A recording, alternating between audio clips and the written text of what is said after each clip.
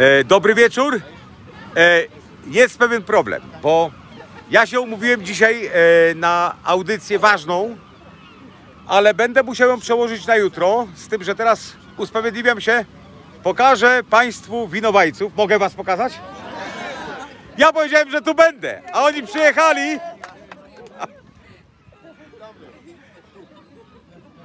Tak to wygląda.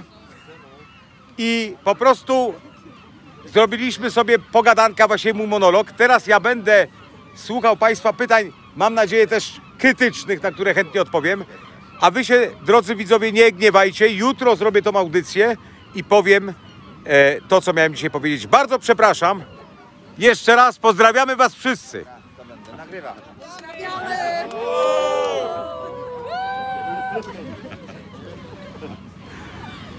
Do zobaczenia do jutra. No zobaczę,